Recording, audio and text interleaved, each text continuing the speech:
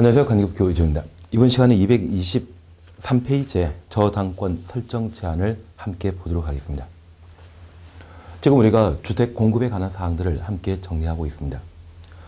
사업체가 주택을 분양 공급하게 되었을 때 지켜야 될 각종 주택법상의 규정을 함께 보고 있는데 그 중에 저당권 설정 제한을 함께 살펴봅니다.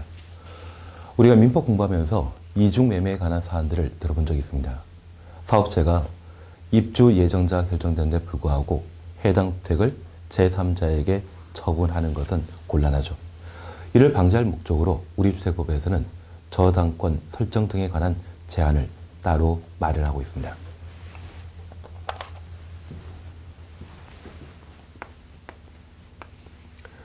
여기 저당권 설정 제한과 관련되어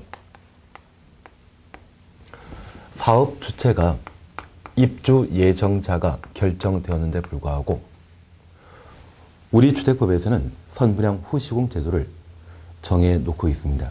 그래서 주택이 완공되기 전에 미리 입주 예정자가 결정되게 되는데 저 입주 예정자에게 해당 주택의 소유권을 이전하고자 한다면 소유권 이전 등기를 해야 됩니다. 등기 이전에는 사업체 명의이죠. 저 사업체 명의의 주택을 입주 예정자가 아닌 제3자에게 소유권을 이전하게 되면 이것 곤란하죠. 이를 방지할 목적으로 우리 주택법에서는 저당권 설정 제한을 정해 놓고 있습니다. 저당권 설정 제한과 관련되어 제한 대상에 있어서는 자주시험에 출제되는 것으로 저당권 설정 제한 기간을 우리가 파악할 필요가 있습니다. 그래서 223페이지에 맨 마지막 줄을 함께 살펴봅니다. 사업체는 주택 건설 사업에 의해 건설된 주택 대지에 대하여 입주자 모집 공고 승인 신청일 이후부터 입주자 모집 공고 승인 신청일 동그라미 넣습니다. 그리고 가로속에 주택조합의 경우는 사업계획 승인 신청일 동그라미 넣습니다. 입주 예정자가 그 주택 대지에 소유권 이전 등기 신청할 수 있는 날 이후 60일까지 소유권 이전 등기 신청할 수 있는 날 이후 60일 동그라미 넣습니다. 입주 예정자의 동의 없이 다음에 해당되는 행위를 하여서는 아니 된다. 1. 해당 주택 등에 대한 저당권 등의 담보 물건 설정하는 행위. 2. 전세권 등을 설정하는 행위. 3. 매매 또는 증여 방법으로 처분하는 행위. 그러면 저당권 설정 제한 기간은 그 시작하는 기산점이 입자모지 공고 승인 신청일부터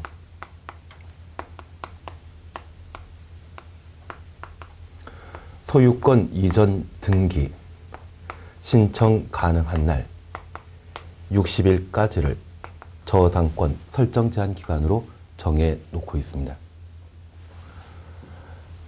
사실 사업체가 입주 예정자에게 주택을 분양하고자 한다면 사업계획 승인받고 5년 이내 착공 신고하고 그 건설 공정이 20%에서 40% 정도에 도달하게 되면 선 분양할 수 있습니다. 여기 40%라고 하는 것은 기존 건물이 존재한 상태에서 건물을 철거하고 아파트 단지를 만들기 위한 대지 조성 작업을 할 시기가 40%에 해당되게 되고 각종 택지 개발 사업을 통해 주택공사로부터 건설 회사가 땅을 분양 받았을 때 기초 공사를 마치게 된다고 하면 그때를 20%에 도달한 것으로 파악하게 됩니다. 그 시기에 분양하고자 한다고 하면 시군 구청장에게 입주자 모집 승인 받아야 되고 승인 받은 이후에는 신문에 아파트 분양 가격 등을 상세하게 명시한 입주자 모집 공고를 내게 됩니다. 이러한 입주자 모집 공고를 보고 많은 사람들이 청약 신청하게 되면 당첨자와 아파트에 대한 공급 계약을 체결하게 되는데 이 입주자 모집 승인 신청일 이후부터 사업체는 입주 예정자와 청약 그리고 주택 공급 계약 등을 체결하다 보니 입주 예정자에게 돈을 받게 됩니다. 그러한 돈을 받고 입주 예정자가 결정되었는데 불구하고 엉뚱한 짓을 하게 된다면 이건 곤란하죠. 그래서 입주자 모집 공고 승인 신청일을 저당권 설정 제한의 기산 시점으로 정해 놓게 됩니다. 이후 중대금 60% 그리고 주택 건설 사업이 모두 완료되게 되면 사용 금사 받은 이후에 잔금을 받게 됩니다. 그리고 입주 예정자에게 소유권 이전 등기를 해주게 되는데 저 등기하기 전까지는 바로 사업체 명의입니다. 그리고 소유권 이전 등기를 하게 된다고 하면 이제 등기부상의 명의가 변경되었기 때문에 그 시기부터는 사업체는 함부로 이중 매매하는 게 곤란해지죠. 그래서 저당 설정 제한 기간은 입주자 모집 공고 승인 신청일부터 소유권 이전 등기 신청 가능한 날 60일까지를 저당권 설정 제한 기간으로 정해놓고 있는데 여기 등기는 하나의 의무 사항에 해당되게 됩니다. 등기 의무를 제대로 이행하지 않는다고 하면 과태료 부과 되게 되는데 등기 가능한 날부터 60일까지는 과태료 부과 없이 등기할 수 있지만 60하루째부터는 과태료를 부담하도록 되어 있습니다. 그래서 과태료 부담하지 않고 소유권 이전 등기할 수 있는 날 바로 60일까지를 저당권 설정 제한 기간으로 정해 놓게 됩니다. 이 기간 동안에는 입주 예정자의 동의 없이 저당권 등의 담보 물건을 설정하거나 전세권, 지상권 등이라고 하면 제한 물건에 해당됩니다. 그리고 매매 등의 방법으로 처분하는 행위를 법으로 제한하게 됩니다. 그러면 우리 이렇게 잠깐 이해해 놓습니다. 현재 사업체가 입주 예정자에게 소유권 이전 등기하기 전에 자기 명의 주택 대지를 제3자에게 담보로 제공하게 되면 이후 입주 예정자에게 소유권 이전 등기하게 되었을 때 사업체가 원리금을 제대로 변제하지 않, 않게 된다면 담보 물권자는 담보 잡은 물건을 처분하고 자신의 원리금 회수할 수 있죠. 입주 예정자는 주택에 입주한 이후 그런 일을 당하게 된다면 황당한 일을 당한 셈이 될 겁니다. 그리고 제한 물건과 관련되어 우리 지사권이나 전세권에 관한 사항을 생각해 보면 사용 수익 처분과 관련되어 사용 수익을 제3자에게 허용하는 것이 제한 물건이었습니다. 그러면 입주전자에게 소유권 이전 등기하기 전에 제3자에게 전세권이나 등기되는 부동산, 임차권, 그리고 지상권을 설정해 주게 된다고 하면 해당 주택에 대한 사용 수익은 제3자가 입주 예정자보다 우선 행사할 수 있습니다. 그러면 저 입주 예정자는 소유권 이전 등기한다 할지라도 해당 주택에 직접 입주할 수 없거든요. 그런 일을 방지하기 위해 입주 예정자의 동의 없이는 저당권 등의 담보 물건, 지상권 등의 제한 물건, 매매 등의 방법에 의한 처분 행위를 제한하게 됩니다. 그러면 이런 권리 제한에 대해서는 모든 사람들이 널리 알 수 있도록 알려줄 필요가 있는데 이때 부기 등기를 하도록 되어 있습니다. 여기 부기 등기는 부동산의 소유권자가 등기를 할 수 있습니다. 그래서 한참 주택 건설 사업을 진행 중이기 때문에 이러한 부기 등기는 소유자인 사업 주체가 하도록 되어 있는데 저 사업체 중에 국가기관은 이중 매매 등의 불법 행위를 저지르지 않겠죠. 국가는 신뢰할 수 있는 자이기 때문에 사업체 중에 국가, 지방자단체, 주택공사, 지방공사는 부기 등기 대상에서 제외, 생략하고 있습니다. 그리고 부기 등기 시기에 관한 사항을 한번 살펴놓으시고 특별히 위반 시에 어떤 효력이 발생하게 되는지를 살펴놓습니다. 그래서 224페이지에는 양가로 2번 부기 등기 그리고 동그라미 1번에는 부기 등기 대상에 관한 사항을 볼 수 있습니다. 사업체가 부기 등기 하도록 되어 있지만 국가기관의 경우는 그러하지 아니하다. 그리고 그 시기와 관련되어 주택건설 사업을 시행하는 대지의 경우는 입주무지 공고 승인 신청 시에 부기 등기 하도록 되어 있고 건설된 주택에 대해서는 소유권 보존 등기와 동시에 하도록 되어 있습니다. 그리고 4번 효과에 관한 사항들을 살펴보면 그 효력을 무효로 한다. 무효 동그라미 해놓습니다. 그러면 잠깐 우리가 이해하실 것은 저 사업체가 입주 예정자 결정되었는데 불구하고 제3자에게 소유권을 이전하게 되면 사업자는 저당권 설정 제한 규정을 알고 이중 매매를 체결한 겁니다. 우리 민법 공부하면서 선이 악이 구분한 적 있죠. 알고 하면 악입니다. 그리고 제3자가 소유권 이전 등기할 때 해당 부동산과 관련된 등기부 등본에 입주 예정자의 동의 없이는 함부로 처분하거나 압류 등의 목적물로 할 수 없다. 그런 취의 부기 등기를 보고 소유권 이전 등기를 했다고 하면 저 제3자도 악입니다. 악의와 악의 사이의 법률 관계에 대해서는 바로 무효로 하고 있죠. 그래서 우리가 민법 공부하면서 선의 선의 관계라고 하면 유효, 선의 악의 관계라면 취소, 악의 악의 관계라고 하면 무효로 한다. 그 말 기억하신다고 하면 저당사정 제한 규정을 위반한 행위에 대해서는 바로 무효로 파악하게 됩니다. 그러면 이 저당사정 제한, 저당권 설정 제한 대상과 부기 등기에 관한 사안들을 각각 정리하는 것이 이쪽의 시험거리가 되고 특별히 과거 10회 이전에는 자주 시험 문제가 출제되었는데 11회부터 18회 시험까지는 출제된 바 없습니다. 그래서 지금쯤이면 다시 한번 출제될 시기에 해당되기 때문에 최소한의 내용들을 한번 저렇게 정리해 놓습니다. 그리고 신탁과 관련된 사안에 대해서는 크게 문제 삼을 필요 없습니다. 그리고 226페이지에 사용 금사 후 매도 청구를 함께 볼 수 있습니다.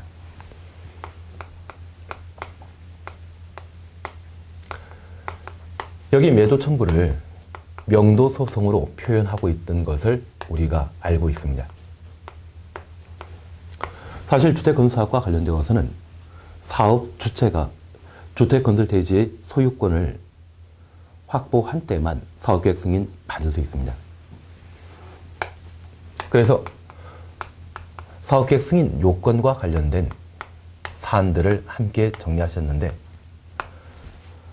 예외적으로 대지 사용권을 확보하게 되면 사업계획 승인 받을 수 있죠. 그 사용권 확보하고 주택건설 사업을 진행했지만 그 소유권을 제대로 취득하지 못한 경우가 있습니다. 만약 주택건설 사업 도중에 그런 일이 발생했다고 하면 사업체가 주택건설 예정제 대지 소유권을 취득하는 법적 절차를 진행하게 되지만 여기 사용금사 후라고 하면 주택 건설 사업이 모두 완료된 상태이죠. 그리고 입주 예정자에게 소유권을 모두 이전 등기해줬다고 하면 사업체가 당사자가 되질 못합니다. 만약 그런 경우라고 하면 주택 건설 예정지의 일부 땅을 아파트 단지 주민의 공동 소유가 못 된다라고 하면 이건 좀 문제 있겠죠.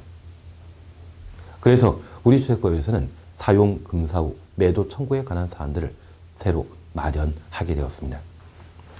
그러면 사업체가 주택 건설 예정지를 조성하고 대지 사용권을 확보하여 주택 건설 사업을 진행 중이었는데 그 주택 건설 단지 안에 일부 땅을 원래 소유자가 소유권을 회복하게 된다고 하면 아파트 단 주민들은 저 땅의 소유권을 다시 취득할 필요가 있습니다. 일반적인 소송 절차를 진행하게 된다면 많은 시간과 비용 부담이 들기 때문에 우리 주택법에서는 명도 소송이 가능할 수 있도록 사용 금사 후 매도 청구에 관한 제도를 따로 마련하게 됩니다. 취지 조금 이해하셨다고 하면 여기 매도 청구와 관련된 사안들을 함께 살펴봅니다. 첫 번째 우리가 살펴보실 것은 이 사용무사 후 매도 청구와 관련되어 어떤 경우에 매도 청구가 가능한지 여기 매도 청구라는 것은 명도 소송에 관한 사항으로 엄격한 요건을 갖춘 때만 일반 국민의 재산권을 침해하지 않을 겁니다. 그래서 매도 청구와 관련된 엄격한 요건 등에 관한 사안들을 우리가 함께 봐주셔야 됩니다. 그러면 226페이지에 사용검사 후 매도 청구에 대해서는 별표 하나 해놓습니다. 1번입니다. 동그라 1번 주택 또는 복리설의 소유자들은 주택 단지 전체 대지에 속하는 일부 토지에 대한 소유권 이전 등기 말소 소송에 따라 사용 금사 받은 이후에 사용사 받은 이후 추정습니다. 해당 토지의 소유권을 회복한 자, 가로 속에 실소유자를 표현합니다. 해당 토지를 시가로 매도할 것을 청구할 수 있다. 그래서 매도 청구와 관련되어서는 주택이나 입주자 공이 아닌 복리시설의 소유자가 매도 청구의 당사자가 되게 됩니다. 주택 건설 사업이 한참 진행 중이라고 하면 사업 주체가 이와 관련된 당사자이기 때문에 이겠지만 지금은 주택 건설 사업이 완료된 사용 금사 이후 시점이기 때문에 주택 또는 봉시설의 소유자가 매도 청구와 관련된 당사자가 되게 됩니다. 이들은 사용금사 이후 주택 단지 안의 일부 토지를 소유권을 회복한 자가 있다고 하면 그 실소유자에 대해 매도 청구를 할 수 있다는 이야기입니다. 그래서 시기와 관련되어서는 사용 금사 이유라는 것을 기억해 놓습니다.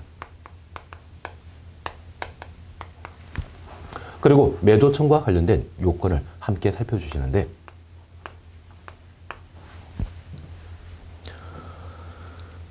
아파트 단지의 소유자는 100명, 200명, 여러 명 될 수 있죠.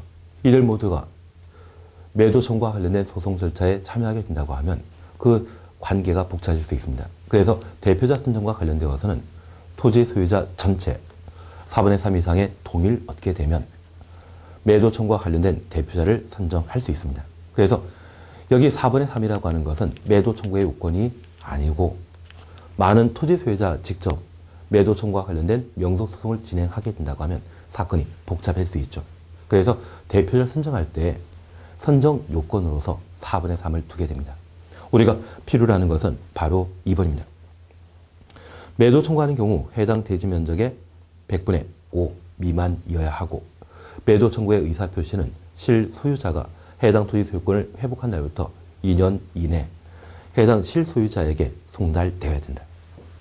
그래서 매도 청구와 관련되어서는 주택단지 전체 면적의 5% 미만 토지에 대해서만 매도 청구할 수 있고 이러한 매도 청구와 관련된 매도 청구에 대한 의사 표시는 실소유자가 토지에 대한 소유권을 회복한 날부터 2년 이내 매도 청구하도록 되어 있습니다. 그래서 매도 청구와 관련되어 만약 대지의 면적이 5% 미만인 때는 매도 청구 가능한데 만약 5% 이상 주택단지 면적의 10%에 해당되는 토지 소유자가 토지의 소유권을 회복했다라고 하면 이때는 매도 청구 자체가 안 됩니다. 만약 그런 경우라고 하면 토지 소유권을 취득하기 위한 소송 절차 또는 토지 소유자와의 각종 매매 등의 방법에 의한 협의 절차에 따라 소유권을 취득하는 것이고 5% 미만일 때만 명도 소송이라는 소송 절차에 따라 해당 토지 소유권을 아파트 단지 소유자가 회복할 수 있는 겁니다.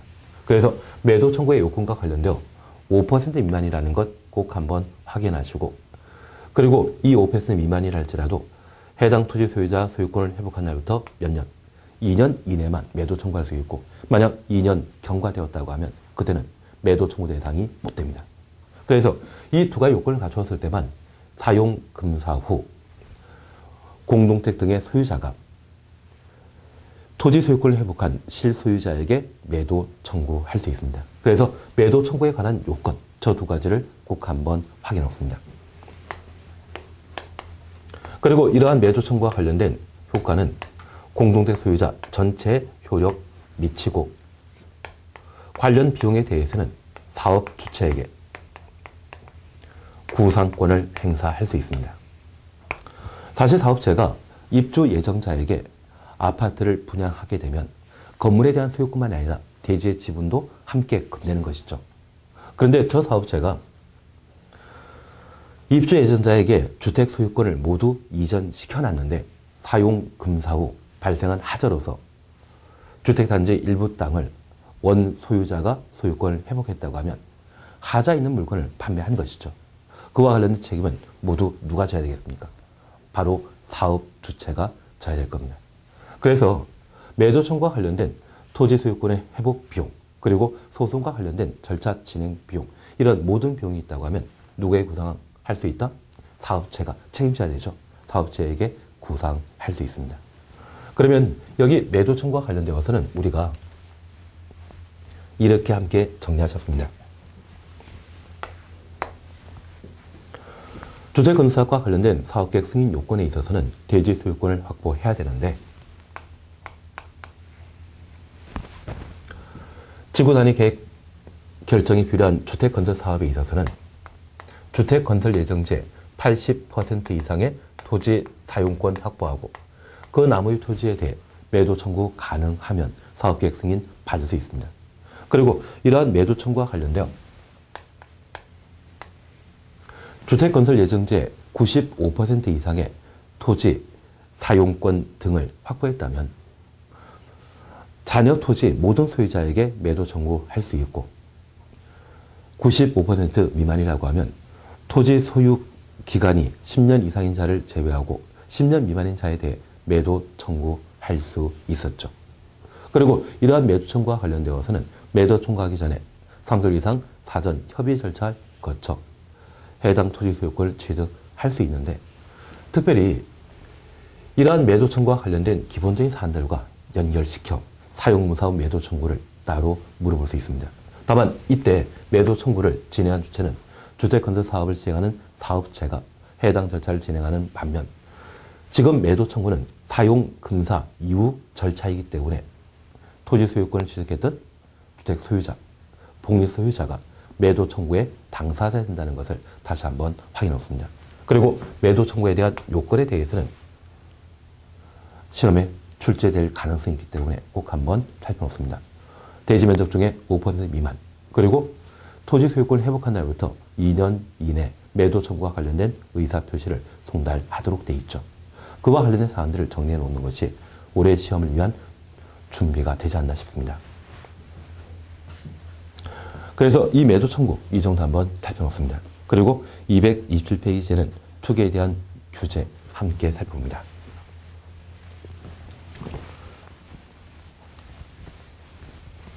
우리가 지금 주택 공급에 관한 사안들을 함께 정리하고 있습니다. 여기 주택 공급과 관련되어서는 주택을 공급하는 방법, 절차에 관한 문제와 사업체의 각종 불법 행위를 방지하기 위한 것으로서 견본 주택에 관한 사항, 그리고 분양가 상한제 적용 주택, 저당권 설정 제한, 그리고 사용무사고 매도 청구에 관한 사안들을 각각 살펴보는데 이러한 자체는 사업체의 불법 행위를 방지하기 위한 주택법상의 규정에 해당되게 됩니다. 그리고 이렇게 사업체가 주택을 건설하여 일반인에게 공급하게 되면 주택을 공급받은 입주자는 해당 주택을 자신의 거주 목적으로 사용돼야 되지 이를 투기 목적으로 사용해서는 안 되죠. 그래서 입주자의 투기를 방지하기 위한 제반 규정들을 마련하게 됩니다. 우리 주택법에서는 1인 1주택 공급을 원칙으로 하고 있는데 한 사람이 여러 주택을 공급받아 이를 재테크사와 함께 하지 못하도록 투기, 억제에 관한 사안들을 마련하게 됩니다. 그러한 내용으로 첫 번째 공급질서 교란 금지 제도가 있습니다. 여기 공급질서 교란 금지는 우리 주택법에서는 청약 통장 등의 거래를 법으로 제한하고 있습니다. 그런데 우리 동네 주변 돌아다니다 보면 청약 통장, 상담, 알선, 매매 이런 것 권장하는 전단 광고를 보신 적이 있습니다. 사실 2014년 이전까지만 하더라도 청약 통장을 가지고 있는 분, 특히 무주택 세대주이고 그리고 자제분이 두 명 이상인 분이 계시다고 하면 그 통장을 부동산 중개업자 또는 청약 통장 전문 전문적으로 처리하는 분이 계시다고 하면 그분에게 통장 건넸을 때 통장에 예치되어 있는 금액 외에 한 300만 원에서 500만 원의 웃돈을 붙여준 적이 있습니다. 2015년도에 법이 대폭 개정되며 분양 신청, 분양 시장이 활성화됐던 것을 기억하시죠? 그 당시에 무주택 세대주로서 10년 이상인 자, 그리고 자제분 한 2명, 3명 가지신 분이 있다고 하면 그 통장을 한 3천만 원까지 웃돈을 얹어주고 통장을 전문적으로 처리하는 분들이 사드렸던 적이 있습니다. 그래서 그러한 불법 행위가 저지러지는 경우가 있는데 우리도 청약통장 하나 가지고 있다가 나중에 분양시장이 좀 활성화되게 되면 통장 팔아먹는 것도 괜찮겠죠. 제가 불법을 주장했나 봅니다. 그냥 넘어갑니다. 그런 통장 거래에 대해서는 법으로 제한하고 있는데 그러한 사안들을 공급돼서 교란 금지 규정에서 따로 마련하고 있습니다. 최근에 시험 문제가 좀 안 나오더라고요. 그래서 나중에 문제 풀 때 잠깐 살펴보는 것으로 대신 하겠습니다. 그리고 이 투기 과열 지구를 228페이지에서 볼 수 있습니다. 여기 투기 과열 지구는 작년 같은 경우에 주관식 문제로 출제된 적이 있습니다. 작년에 출제했다고 하면 다시 출제하기가 좀 애매한 점도 있습니다. 그래서 이 투기 과열 지구에 대해서는 이렇게만 잠깐 이해해 놓습니다. 주택에 대한 투기가 성행하는 지역이 있다고 하면 그런 투기를 억제할 필요 있죠. 그래서 국토교통부 장관 또는 지도의사가 특정한 지역을 투기 과열 지구로 지정하게 되면 분양권 거래를 할 수 없게 만듭니다. 그래서 전매 제한을 전매 행위를 제한하고자 투기 지구를 지정하는 것이 특징이고 이러한 분양권 전매를 금지하게 된다고 하면 주택 가격 안정시킬 수 있겠죠. 그래서 투기 과열 지구도 투기를 억제하기 위한 제도다. 그 정도만 기억해 놓습니다. 관련된 문제에 대해서는 문제 풀이에서 잠깐 보도록 하겠습니다. 문제가 되는 것은 230페이지의 전매 행위 제한을 함께 살펴봅니다.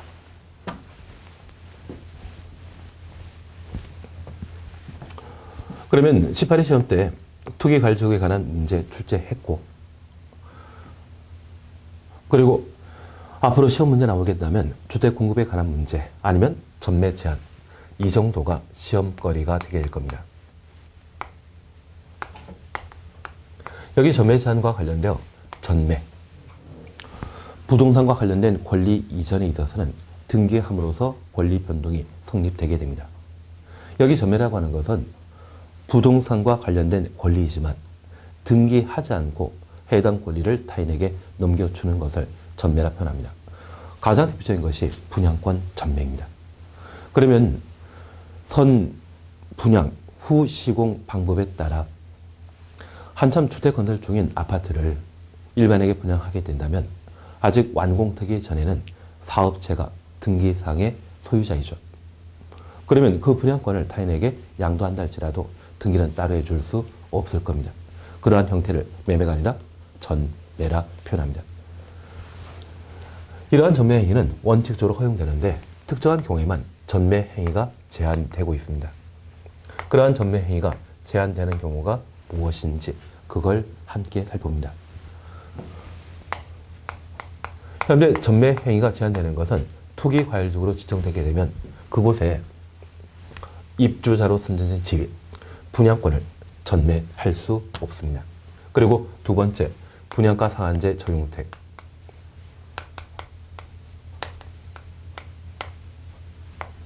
그리고 세 번째, 수도권에 공공택지 외 택지에 건설 공급되는 주택. 이러한 세 가지 형태에 대해서는 그 전매 행위를 법으로 제한하고 있습니다.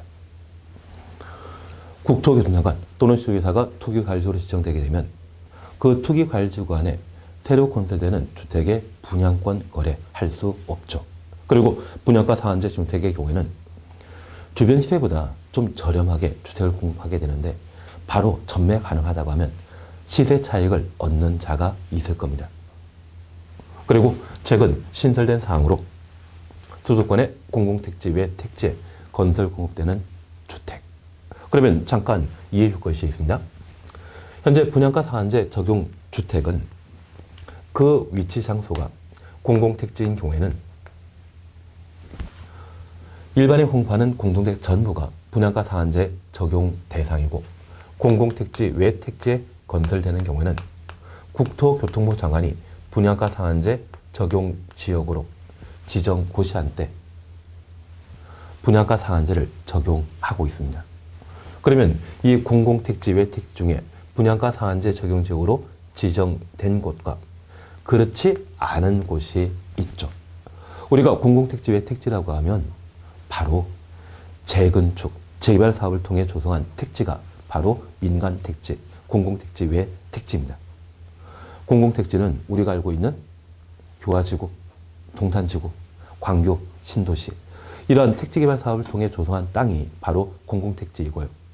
재건축 사업이나 재개발 사업을 통해 조성한 땅이 있다고 하면 그것을 민간택지, 공공택지 외 택지라 표현합니다. 그러면 그 재개발 사업을 위한 공간이 분양가 상한제 적용 지역으로 지정되었다면 그곳에 새로 건설하여 일반에 공급하는 공택은 분양가 상한제 적용 대상이고 분양가 상한제 적용 지역으로 지정되지 않았다고 하면 이때는 그 위치 장소가 수도권이었을 때 서울, 인천, 경기를 말합니다. 그 수도권에 공공택지 외 택지, 분양가 상한제 적용하는 곳 아니죠. 그곳의 주택에 대해 전매 행위를 제한하겠다는 이야기입니다. 그래서 전매 제한 대상이 무엇인지 꼭 한번 확인해 놓습니다. 그리고 박스 속에 우리 2번 살펴보게 되면 분양가 상한제 주택이 전매 제한 대상인데 단서에 이름만 있습니다. 수도권의 지역으로서 투기 관주가 지정되지 아니하거나 지정 해제된 지역 중에 공공택지 외 택지에 건설 공급하는 분양가 상한제 적용주택에 대해서는 그러하지 아니하다. 전매 제한 대상 아니란 이야기죠. 그러면 이 분양가 상한제 적용주택으로서 그 위치 장소가 수도권 외 지역으로서 and 개념입니다. 투기과열지구로 지정되지 아니하거나 투기과열지구 지정이 해제된 지역 중에 and 개념입니다. 공공택지 외 택지 이러한 조건을 갖춘 경우에는 분양가 상한제 대상에서 제외시킵니다. 그러면 역으로 수도권에 건설되어 있는 분양가 상한제 주택은 전매 제한 대상이고 투기과열지구 안에 건설 공급하는 분양가 상한제 주택 전매 제한 대상이며 공공택지에 건설되어 있다면 모두 전매 제한 대상이라는 이야기죠. 이 세 가지 요건에 모두 충족했을 때만 전매 제한 대상에서 제외시키는데 여기 수도권 외 지역이라고 하면 대전, 광주, 부산 그리고 투기과열지구 아닌 곳 현재 대한민국에 투기과열지구로 지정된 곳 없습니다. 그리고 공공택지 외 택지 바로 재개발 사업을 통해 조성된 땅 그러면 대전에 재개발 사업을 위한 정비구역 안에 새로 만들어지는 아파트라고 하면 아무리 분양가 상한제 정책이라 할지라도 전매 마음대로 할 수 있다는 이야기죠. 그래서 전매 제한과 관련된 예외 규정 한번 확인해 보습니다 그러면 문제가 있습니다. 여기 전매 제한이라고 하는 것은 함부로 처분하지 못한다. 그런 개념이죠. 그러면 언제까지 전매할 수 없는지 전매 제한 기간이 문제가 되게 됩니다. 다만 투기 과일주와 관련된 전매 제한 기간은 17회 시험 때 시험에 한번 출제한 적이 있습니다. 그리고 작년 같은 경우는 투기 과일주와 관련된 주관식 문제를 시험에 낸 바 있거든요. 그래서 연속해서 2년 시험에 출제했다고 하면 좀 시험거리가 덜할 겁니다. 그래서 투기과일주와 관련된 전매 제한 기간에 대해서는 우리 교재에서 잠깐 확인해 놓습니다. 230페이지에 이 전매 제한 기간 찾으셨죠? 투기과열지구 안에 전매 제한 기간은 최초 주택공급계약 체결 가능한 날부터 수도권과 충청권의 경우는 소유권 이전 등기하는 데까지 그리고 그 전매 제한 기간은 5년 초과할 수 없다. 수도권과 충청권을 제외한 그 밖의 지역은 1년까지 전매 제한 기간으로 정해 놓게 됩니다. 그러면 여기 최초 주택공급계약 체결 가능한 날은 이번에 사업체가 아파트를 분양하는데 500세대를 분양하게 되었습니다. 그리고 입주자 모집 공고하고 최초 입주 예정자와 분양 계약을 체결하게 되면 그날이 주택공급계약 체결 가능한 날이 됩니다. 그리고 그날이 만약 2월 15일이라고 하면 500번째 주택에 대한 분양계약, 공급계약을 체결한 날이 한 7개월 뒤에 또는 8개월 뒤에 8월달, 8월 중선쯤에 공급계약 체결했다고 하면 이 500번째 주택이라 할지라도 전매 제한 기간을 기산하는 시점은 최초 주택공급계약 체결 가능한 날 2월 15일 기준으로 전매 제한 기간이 시작되게 됩니다. 그러면 이때 분양계약 체결하게 되면 보통 3년 정도 뒤에는 실제 주택에 입주하게 되고 입주한 주택에 소유권 이전 등기를 하게 되는데 저 등기하는 시점보다 5년이 먼저 찾아오는 경우가 있습니다. 사업체가 부도 파산하여 주택 건설 사업이 지연되게 되면 주택 건설 사업이 완료되는 것보다 5년이라고 하는 시간이 먼저 도래할 수 있죠. 만약 그런 경우라면 소속권과 충청권의 투기 과일지구로 지정된 때는 제초주택공급계약 체결 간환으로부터 소유권 이전 등기 한 때까지를 전매 제한 기간으로 정해놓고 있지만 아직도 주택 건설 중인데 5년이라는 시간이 먼저 도래했다고 하면 그때까지를 전매 제한 기간으로 정하겠다는 이야기입니다. 그 밖에 저기의 경우는 1년을 전매 제한 기간으로 한다. 그리고 분양가 상한제 주택과 관련된 전매 제한 기간 한번 확인해 놓습니다. 바로 231페이지의 박스 속에 나와 있는 내용인데 이것 출제하는 분도 이 문제 출제하고 비슷한 형태의 문제를 한번 내게 되면 그분도 제대로 답 못 찾을 겁니다. 그래서 이쪽에서는 우리가 딱 두 가지만 기억해 놓습니다. 분양가 상한제 주택과 관련되어 최장 전매 제한 기간 바로 6년입니다. 우리 교재 231페이지에 1. 수도권 그리고 2는 비수도권을 말합니다. 그 1번과 관련되어 개발 제한 구역을 해제하고 주택 공급 가격이 주변 시세 70% 미만의 경우는 그 전매 제한 기간을 5년, 6년으로 한다. 6년이라는 것 확인해 놓습니다. 그리고 나머지 사안에 대해서는 워낙 복잡하게 정해져 있기 때문에 크게 신경 쓰지 않습니다. 그리고 주변 시세의 100% 이상으로 공급하게 되면 전매 제한 기간을 3년을 한다. 첫 번째 나오는 것, 그리고 가장 긴 것, 이 두 가지에 대해서만 살펴봤습니다. 그래서 분양가 상한제 주택과 관련되어 최장 전매 제한 기간은 몇 년이다? 6년이다. 개발 제한 구역을 해제하고 분양가 상한제 주택을 건설 공급한 경우로서 그 공급 가격이 주변 시세의 70% 미만. 70% 미만이면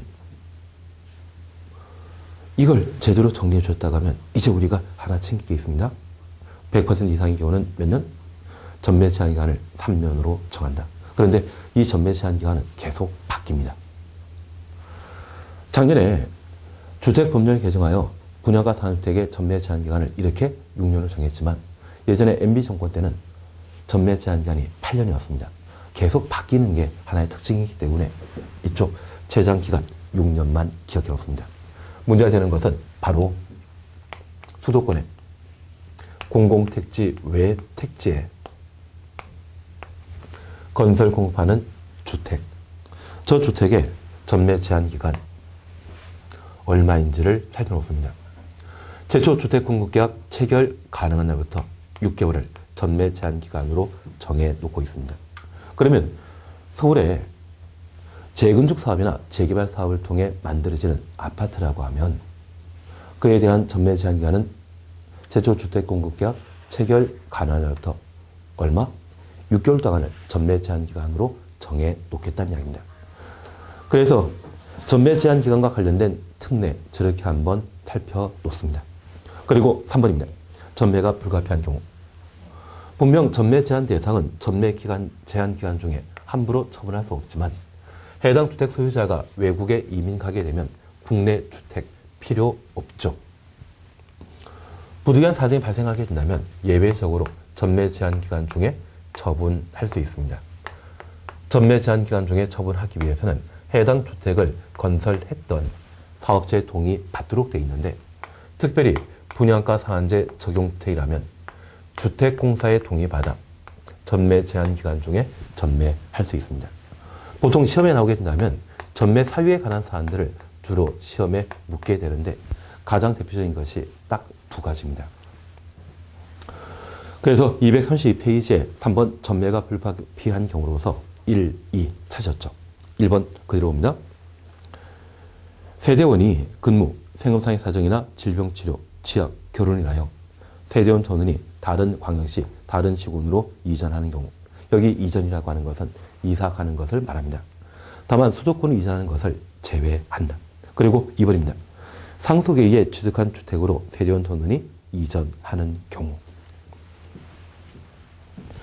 그러면 이사 가게 되었을 때 상속받은 주택으로 이사를 하는 경우라면 장소 제한 없이 전매할 수 있는데 상속 외 사유 회사를 옮기거나 근무지 이전이죠. 학교에 들어가거나 취학이죠. 결혼하거나 생업상의 사정 그리고 질병 치료 여기 생업상의 사정이란 말이 들어가기 때문에 상속 외 이사 원인 기타 등등이겠죠.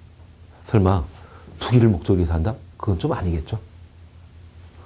그러한 것을 제외한 법이 인정하고 있는 이사 원인이 있다고 하면 수도권을 제외한 다른 광역시, 다른 시군으로 이사하는 때 사업체 동의받아 전매할 수 있습니다. 그러면 이번에 내가 천안에 살고 있는데 비수도권입니다. 서울로 회사를 옮기게 되었습니다. 출퇴근 시간이 워낙 길기 때문에 천안에 있는 분양가 상한제 주택을 처분하고 서울로 이사하고자 한다면 이건 전매 불가능합니다. 분명히 근무지 이전으로 다른 시군으로 이사를 했지만 여기 서울은 수도권이죠. 수도권으로 이사하는 경우에는 분양가 상한제 적용택을 함부로 처분할 수 없습니다. 반면 서울에 살고 있다가 천안으로 이사를 하게 된다면 비수도권 이사한 것이죠.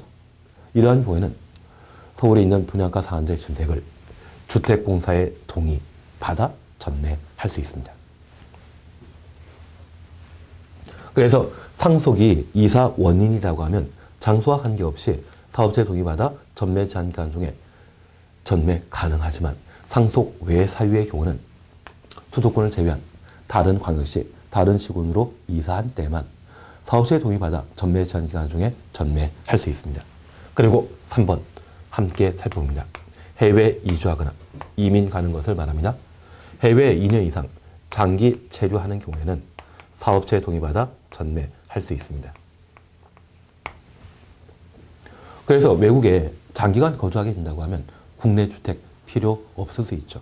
이러한 경우에 전매 가능하다는 것 확인했습니다. 남의 사유는 자주 시험에 안 나옵니다. 만약 시험에 나오게 된다고 하면 4번 이혼과 관련된 원인 그리고 7번 입주자 선된 지위 또는 주택 일부를 배우자에게 증여하는 경우 일부 증여란 말 한번 확인만 해봤습니다. 그 정도 보시는 게 전매 제한과 관련되어 우리가 함께 볼 이야기입니다. 4번부터 6번까지 이야기는 크게 문제 삼을 필요 없습니다. 그래서 여기 전매 제한과 관련되어서는 전매 제한 대상 무엇인지 세 가지였습니다. 그리고 각각의 전매 제한 기간을 살펴보는데 투기 과일주와 관련된 전매 제한 기간은 17회 시험 때 이미 출제했습니다. 분양가 상한제 주택은 무리수입니다. 그래서 가장 긴 전매 제한 기간이 6년이라는 것 정도만 다시 한번 확인해 놓습니다. 그리고 수도권의 공공택지 외 택지의 건설 공급되는 주택의 전매 제한 기간은 최초 주택 공급계약 체결 가능부터 6개월을 전매 제한 기간으로 정해 놓고 있습니다. 작년 개정상인데 작년에 시험에 안 나왔다고 하면 한번 출제할 만 할 겁니다. 그리고 전매 제한에 대한 예외 이 정도를 한번 보는 게 우리가 공부하는 주택 공급에 관한 기본적인 사항이 되게 됩니다. 이 정도를 정리해 놓으신다고 하면 충분히 어떤 형태의 문제도 풀어 나갈 수 있을 겁니다. 이번 전 여기까지 함께 하시고 다음 시간에는 제4장 주택 관리에 관한 사항들을 함께 살펴보도록 하겠습니다. 수고하셨습니다.